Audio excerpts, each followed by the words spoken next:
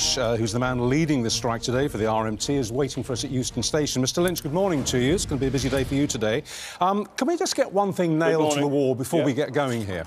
Uh, you've been accused severally in the last few weeks of being a Marxist. It happened again last night. Uh, a backbench Tory MP said you were a Marxist with no interest in anything other than trying to tear down the government. Now, are you or are you not a Marxist? Because if you are a Marxist, then you're into revolution and into bringing down capitalism. So are you or aren't you? Richard, you do come up with the most remarkable twaddle sometimes, I've got I to say. say well, well, well, uh, I didn't say you were a Marxist. With, with I'm saying that you're being accused of being a Marxist, and that's yeah, not twaddle. That's, that's called reporting. No, I'm not. I'm, no, I'm, a, I'm not a Marxist. I'm an elected official of the RMT. I'm a working class bloke leading a, a trade union dispute about jobs, pay, and conditions of service. So it's got nothing to do with Marxism.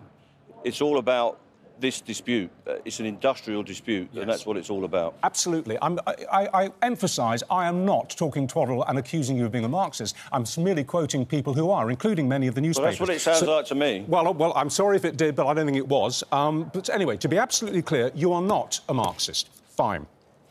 Tell us about this letter um, that you saw last I'm also night. not the international centre of evil, which Piers, Piers Morgan calls me the other night.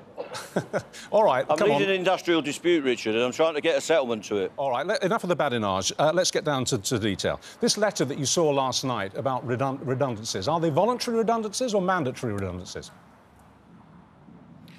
They're a statutory notice of redundancy, so they will be compulsory if we can't get an agreement that they're not. So at the moment, they're the statutory redundancy notice, which is compulsory under law. And has that raised the ante? 2,900 was the number. Yeah, 900. And has that well, raised... it's an escalation of the dispute, isn't it? What? Mm. Carry on. It's an escalation of the dispute, Richard. We went over there last night and they said that we'd get an increased uh, revised pay offer and, uh, and some revisions to what they had on the table. Instead of doing that, they've issued a, a, statutory redundancy notice.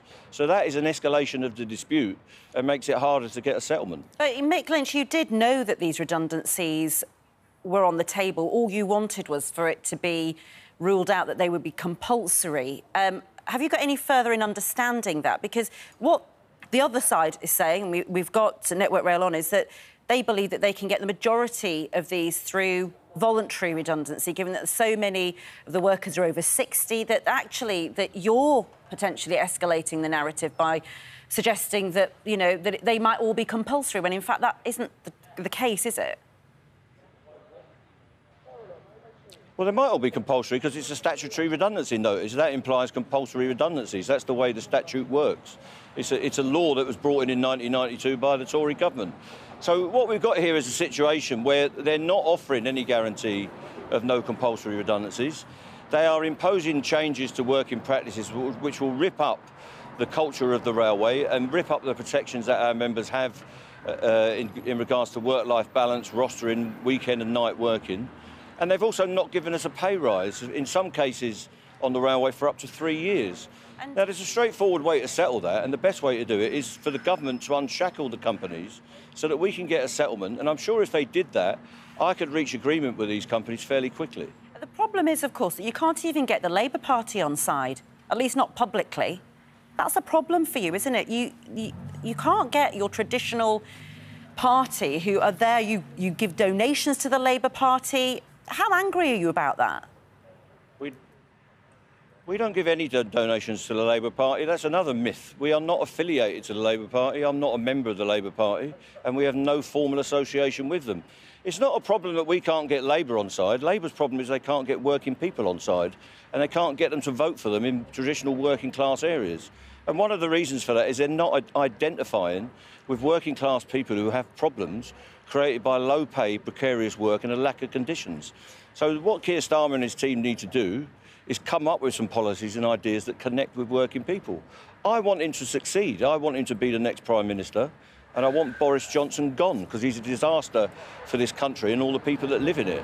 If Keir Starmer can do that and connect up with the traditional Labour Party heartlands and the working class base, he will succeed and bring change to this country. But it's up to him how he does that. It'll have no effect whatsoever whether Keir Starmer supports us in this dispute or not. What we need is the support of our members and the support of working class people in working class communities. All right, and well, I'm look... sure we're going to get that because they're all looking for pay rises as well. I don't know if you'll, if you'll describe this as twaddle as well, but this is what David Blunkett, uh, former frontbencher, of course, uh, said last night. And I quote I am a lifelong trade unionist. I am proud to belong to one of Britain's largest unions. But to be specific, I believe in modern trade unionism. What I don't believe in is one set of workers knocking seven bells out of another set. So uh, if there is a class war going on, it's sort of within the same class, he's saying. Well, what would you say to, to Mr. Blunkett this morning? I'd say he's talking nonsense. Uh, what this is about is our members being threatened. We've got an aggressive attitude from the employers. They're using COVID as a smokescreen. And what David Blunkett ought to do is identify with other workers who need a similar deal to the one that the RMT is campaigning for. We just happen to be at the front and centre of these, of these problems. But the teachers' unions are telling us they're going to uh, campaign. Unison, the Health Service Union and the Public Services Union are telling us they're going to campaign. Even the criminal barristers in this country are going to be having a, a, a strike ballot. So there's something wrong in this society. Uh, wealth is imbalanced. There are super billionaires. There are more rich people than there have ever been. They've never been wealthier. And while we've got full employment, we've got falling real wages. Hmm. That has got to be addressed. People are in full time jobs are taking state benefits and they're having to go to food banks to feed themselves. Now, anyone can work that out. You don't have to be a Marxist or a social scientist to work out that there's a problem at the heart of our society. And it's up to the trade unions to bring back balance and bring back equality to the workplace. And All that's right. what we're part of. All right, Mr. And that's Lynch. what we intend to do. All right. Now, listen, Ranvir has a question for you about Grant Shapps in a moment. But just before that, I want to play you something that we had on yesterday's programme. We interviewed live uh, a, a, professor who's an oncologist whose job it is to save lives and to extend lives. He treats people with cancer. And this is what he had to say about the effects of the action that your men are taking, your men and women are taking today oncology services are under a particular breaking point at the moment due to catch up from lockdown and difficulty recruiting, etc. So this is going to lead to uh, loss of lives. Uh, maybe not now, but in the next uh, few months. He's saying basically that this strike is going to cost lives. People with cancer are going to die, and they wouldn't have done if they'd been able to get their treatment today and later in the week and on Saturday.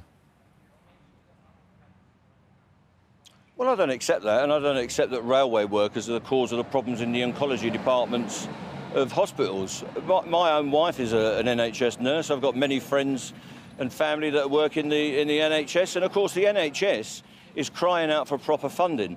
Most of the problems in the NHS are caused by rampant privatisation and profiteering by uh, private sector providers that are currently consuming the NHS.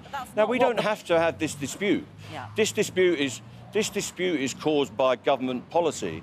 And if we can get a settlement for that, we can move the people around, they can get to their appointments, get to the yeah. workplace, and, and enjoy their leisure activities. we point, want a settlement as keenly as anyone else. And on that point, you, you mentioned the government. But rail Grant... workers are not killing cancer patients. Would it have made any difference um, to today's strike if Grant Shapps had turned up at the negotiating table? Yes, it would, because he would have to stop uh, telling lies about the situation and start facing reality. Grant Shapps is at the negotiating table, albeit in a form that leaves him to one side on the end of a telephone, on the end of a Zoom call. His officials are dictating the mandate of the train operating companies and Network Rail, and they're doing that actively, and nobody on the management side of the table is denying it. Every time they speak to us, or we put a suggestion to them, they have to leave the room and then go and phone their political bosses uh, in Whitehall. So they may as well get on with it. Either he facilitates uh, a mandate that's going to settle this dispute, or he sends people to the, to the table, his officials or himself, that can settle the dispute directly. So this is all down to him. It's all his responsibility, and he can negotiate with us uh, directly or let the managers get on with it. OK, thank you very much indeed, Mr Lynch. Thank you for your time. Talk to you again, I'm sure. Uh, we also have, of course, uh, the chief executive of uh, Network Rail, Andrew Haines, coming up. We'll ask him about that letter that they sent last yep. night about the redundancy redundancies uh, and whether that has indeed escalated uh, the problems today. We've also got Grant Shapps, and we'll ask him why he chose not to be first right there at the table in person. It's interesting, isn't it, Mr Lynch there? Um, everything that everybody says on this, he says, is nonsense, twaddle, and disagrees with every single point that anyone makes.